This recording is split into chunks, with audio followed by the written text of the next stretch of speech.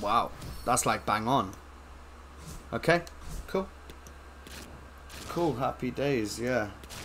We'll go and open this pack now. That is another 92 segment down. That's what 392 segments.